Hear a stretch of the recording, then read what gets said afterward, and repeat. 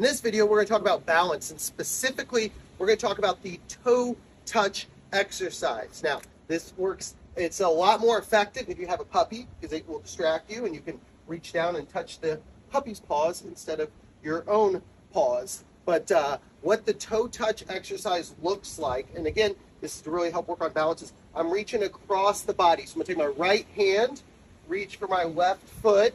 So my right hand, right leg goes back, and I'm just reaching down, touch the toe, come back up. Again, you can reach down, kiss the puppy if you want, come right back up. So ideally, we're gonna do 30 repetitions on one side, and then we'll uh, spin around, rinse and repeat 30 repetitions on the other. A couple things to think about. The higher you kick that heel, the better, because that's going to help you focus on really hinging at the hips, which is only going to help uh, improve your hips. So think about kicking that heel up and bending this knee just a little bit. So I'm reaching down for my toe and then I'm coming right back up. If that's too much of a challenge initially, then just go down, start like reach down, touch the knee, or reach down, touch halfway to the shin. Uh, start with where you're comfortable and then just work on improving from there. But again, we're going to work on 30 repetitions on one side and then 30 repetitions on the other.